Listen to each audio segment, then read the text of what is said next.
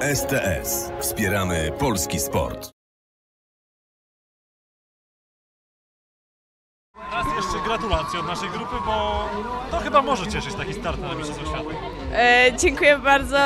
Cieszy to mało powiedziane. Jestem w niebo wzięta. To, był, to jest mój najlepszy start w życiu. To była taka duża szansa, że jest, dalej jestem w szoku. Co powiedział trener, bo tutaj widzieliśmy takie krótkie spotkanie. E, żebym się poszła ubrać, bo jest zimno. Powiedziała Kinga, bo widzieliśmy, że tam się długo ściskałyście szczęśliwe. E, gratulowała mi i no, my jesteśmy strasznie zżyte i mamy dużo do gadania ze sobą, więc e, no, dużo, dużo radości w tym było. Otucha mega, me, mega duża, no i w niej mam bardzo duże wsparcie i mogę powiedzieć, że po prostu motywuje mnie codziennie każdego dnia. Czy ktoś przed Mistrzostwami Świata, przed sezonem ktoś Ci powiedział, że zajmiesz takie miejsce w Mistrzostwach Świata, że taki fajnie w ogóle sezon będzie, to, to uwierzyłabyś? Eee, Szczerze to nie. Znaczy, czy uwierzyć, czy nie uwierzyć. Pewnie powiedziałabym, że no mogłoby być tak pewnie, no mogłoby tak być. No ale czy bym, no, no to trzeba dużo pracy i no mogę być z siebie zadowolona z tego startu, z tego sezonu przede wszystkim, bo jest najlepszy w moim życiu. No i no, bardzo dużo emocji, a zbieramy w tym sezonie bardzo dużo doświadczenia, więc myślę, że może być już tylko lepiej. Na mikście będzie jeszcze więcej emocji? Eee, myślę, że miksy to będzie nagroda za cały sezon, bo naprawdę bardzo dużo, bardzo dużo ciężkiej pracy włożyłyśmy w to, żeby być tu, gdzie jesteśmy teraz i no miks wydaje mi się, że to będzie nagroda i czy będą duże emocje? No może, może nie tak duże, bo staramy się podchodzić do każdych zawodów jak do każdych innych zawodów żeby po prostu zrobić to na spokojnie i dobrze i zrobić swoje, żeby było normalnie. Mistrzostwa Świata faktycznie takie straszne, czy my tutaj przesadzamy wszyscy? Eee, czy straszne? Może nie tak dla, no, może nie są straszne, są e, duże emocje na pewno. E, bardzo dużo takich, tak, no jest stres trochę, jest stres, bo wiadomo, że to już są poważne zawody, ale jeżeli, jak przyjechałam tutaj, to sobie pomyślałam, że to jest po prostu tak, takie zawody jak każde inne i co może się stać? może być tylko dobrze. No fajnie jest chyba pisać historię polskich skoków. Eee, czy pisać historię skoków jest to Jesteście pierwszymi, które, które startują w Mistrzostwach Świata. Na pewno, na pewno fajnie, ale myślę, że po prostu to nam wyszło tak, że po prostu wyszło jak wyszło. No. A co powiesz o samej skoczni? Ty się zaczęłaś skokami interesować, oglądać. Co pamiętasz e, z dzieciństwa, ze skoków? Skakać jak miałam... Hej, wait. 9 lat? 9 lat chyba miałam wtedy. No 9, 9. 9 lat miałam jak zaczęłam skakać i w sumie to nie fascynowało mnie to nigdy wcześniej, bo po prostu nie, u, mnie w rodzinie nikt wcześniej nie skakał, więc nie było takiej no, takiej, z takiego zalążka, że gdzieś te skoki zawsze były, tylko po prostu trener robił nabór w szkole, a ja byłam taką dziewczynką, że bardzo lubiłam dużo się ruszać i lubiłam rzeczy, których inne dziewczyny nie robią. I sobie myślę, to dla mnie, to dla mnie, to dla mnie, ale super, ale super, coś nareszcie dla mnie. No i poszłam na trening, no i już tak zostało, że, że skaczę. Jak miałaś 9 lat, to chyba wtedy Adam Małysz zdobywał dwa srebra na igrzyskach w Vancouver. Oglądałaś wtedy skoki? E, Nie pamiętam, bo to byłam strasznie mała. Znaczy teraz duża też nie jestem, no ale... Co jest najtrudniejsze w trenowaniu skoków? Dla mnie w sumie to nie ma nic trudnego, bo to chyba jest najłatwiejsza dyscyplina sportu. Trudnością na pewno jest to, że musicie dzielić to życie między skoki, między wyjazdy, a chyba naukę, a jej poświęcacie dużo czasu. To jest bardzo ciężkie, bo ten sezon, e, no ten sezon był najcięższy w moim życiu, jeżeli chodzi o naukę, bo nie było mnie bardzo długo w szkole i miałam tydzień do nadrobienia praktycznie zaległości z trzech miesięcy. No ale udało się. Mogę być siebie dumna z tego faktu, że sobie z tym poradziłam, ale po prostu 9 lat trenowania to już jest dużo, przyzwyczaiłam się po prostu. To już nie jest takie wielkie wyzwanie, jak było wcześniej. Po prostu ono, ono gdzieś już tam się tak wplątało w życie, że po prostu wiem, że tak jest. Polskich skoków kobiet to chyba duża różnica w porównaniu do tego, gdy przyjeżdżasz tutaj do, można powiedzieć, wielkiego świata. E, czy tak duża? Może nie tak duża, tylko po prostu u nas jest bardzo mało dziewczyn, bo dużo, dużo dziewczyn po prostu nie wie, że jest możliwość skakania i że no nie wiedzą po prostu, że mogą to trenować i no myślę, że dlatego może tak to wygląda, ale jeżeli chodzi o te, ten rok, to zrobiłyśmy bardzo duży postęp i myślę, że już tak troszeczkę nadrabiamy pomalutku nasze braki. Da się, da się. Ty jesteś samego Zakopanego? Znaczy ogólnie pochodzę z Kościeliska, czyli koło Zakopanego, ale przeprowadziłam się i teraz mieszkam w Długopolu. E, koło Luźmierza, tak dla uściślenia. Kto był pierwszym trenerem? Krystian Długopolski. To jest mój ogólnie klubo, klubowy trener.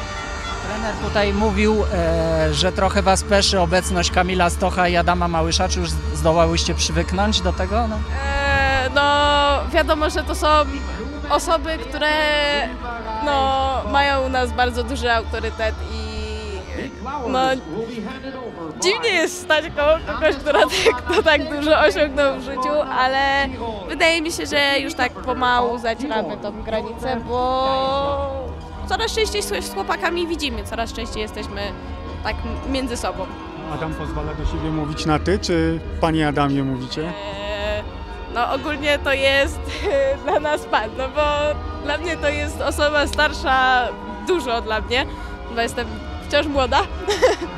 No i Ad- Adam jest dla nas po prostu osobą, która ma szacunek u nas i powinno być na pan.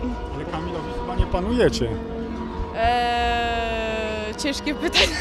Ale rozmawialiście, rozmawiałyście w ogóle z kimś, z Kamilem? O? Tak, oczywiście. Znaczy my z chłopakami rozmawiamy na takim bardziej gruncie towarzyskim, bo w skoki nie wchodzimy, bo ileż można gadać o skokach, nie? Powiedz, powiedz Kamila, ile trwa takie przygotowanie u kobiet do skoku, bo i trzeba fryzurkę zrobić. Jeżeli chodzi o moje włosy, to zajmuje mi to 20 do pół godziny, bo mam ich dużo. No i trochę mi zajmuje to czasu, ale ja ogólnie się nie maluję, więc odpuszczam sobie, bo to, to jest rzecz, której po prostu nie mogę zdzierżyć. Nie czuję się dobrze i oszczędzam bardzo dużo na tym czasu. Te, te warkoczyki takie fikuśne, jeszcze yy, założone za gogle wyglądają jak antenki ostatnio. Ale słyszałem, że nie każdemu się to podoba. No, może i tak jest. Nie no, trzeba było sprawdzić coś nowego. Trzeba było sprawdzić, po prostu mieliśmy założenie, że sprawdzimy teraz coś innego. Nie wiem, czy to wyszło na dobre, czy nie. Dla mnie żadnej różnicy nie było. No ale zostańmy przy tym, jak już jest. A co do samej skoczni w Zefeld, jakbyś mogła Jeżeli chodzi o skocznię, to jest po prostu świetna. Dla mnie to jest skocznia idealna, fajna do treningu by była i trochę jest wymagającą skocznią, bo jest, bo jest strasznie krótkie przejście i szybko, szybko się kończy próg. No ale tak poza tym oceniam w ogóle, że tutaj jest świetnie zrobiona, przygotowana skocznia. Pogoda jest cudowna, nie ma na co narzekać. No i fajnie by było, jakbyśmy mogli kiedyś jeszcze tu przyjechać. Kamila, jak, jak byś zachęciła dziewczyny jakieś do uprawiania skoków? Em, Znaczy ogólnie to jest bardzo, e, bardzo fascynujący sport, bo bardzo dużo w nim adrenaliny, ale też nie każdy lubi, prawda? Mm, To jest, wszyscy myślą, że to jest taki niebezpieczny sport, ale to, to nie jest niebezpieczny sport, bo jak się już idzie na duże skocznie, to się już jest pewnym na tyle, że uważam, że no, co się może stać? No, to nie ryzykuje, ty nie pije szampana, prawda? Nie miałeś takiego upadku, po którym ci się odechciało? Było dużo takich upadków, yy, ale moja miłość do tych skoków jest jednak taka, że tydzień mam taki, że dobra, to już jest koniec, nie, to, to już nie ma sensu. Zrobię sobie jakąś krzywdę, ale po tygodniu mi przechodzi, bo e, brakuje mi po prostu treningu, brakuje mi ruchu, brakuje mi adrenaliny, bo w końcu adrenalina jest uzależniająca i po prostu brakuje mi, jak już mam tydzień nie iść na skocznie, to dla mnie to już jest za dużo. I miałam kilka poważnych wypadków, po których musiałam zrobić długą przerwę, e, no trzy do pół roku ostatnia operacja, to też chwilę musiałam nie trenować i no ale nigdy nie miałam takie, że przestaję skakać i faktycznie odłożyłam narty na kołek i poszłam. Proszę powiedz, jak jest z dietą u, u, u, u Was? Yy, trzeba bardzo, bardzo się pilnować? Znaczy to jest temat, na który każdy po prostu jest indywidualny i każdy musi dostosować tą dietę do siebie. Jak już się dojdzie do tego, jak to się robi, to, to już jest z górki, to już nie ma takiego ciężkiego tego. I jeżeli chodzi o diety w skokach, to no, to jest bardzo chodliwy temat i y, temat rzeka, no. można by dużo gadać, ale każdy po prostu jest indywidualny i po prostu wszyscy muszą dostosować swoją y, dietę do swoich potrzeb. Kamila, z tymi warkoczami to o co chodzi? Szukacie sposobu, żeby nie przeszkadzały, żebyś prędkości nie traciła?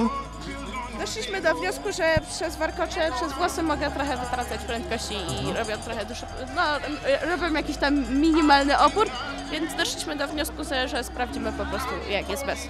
Co lepiej jest je puścić tak jak dzisiaj, a nie zakładać gdzieś tam za gogle z tyłu kasku? Ja specjalnie jakoś od, nie odczułam różnicy, ale też nie mam jak porównać, ponieważ jeździliśmy z innych belek i nie ma takiego porównania, żeby po prostu to sprawdzić. Widzieliśmy dzisiaj jeszcze u Ciebie i u Kingi na koszulkach takie orły drapieżne. Twoi chyba coś w dziobie trzyma. E, ogólnie to ubranka mamy pod kombinezon takie same, ale uznałyśmy, że bierzemy biało-czerwone jako, że narodowe. No i orzeł też jako narodowy symbol. No i uznałyśmy, że to jest strzał w dziesiątkę i będzie dobrze to wyglądać. To jeszcze pytanie na koniec o tego mixta. Macie dużą nadzieję na to, że z Kamilem skoczycie? Szczerze to nadal nie wiem jak to będzie skakać.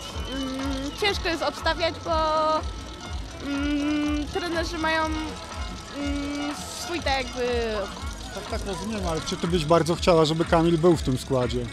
No, gdzieś tam na pewno bym chciała, no to wiadomo. To jest jednak mistrz olimpijski dwukrotny yy, i to złoty. Więc na pewno bym chciała, ale to też nie ode mnie zależy, więc nie mam co, co tu mówić, kto będzie skakać w tych miksach. No, wiadomo, że będzie dwóch chłopaków, dwie dziewczyny.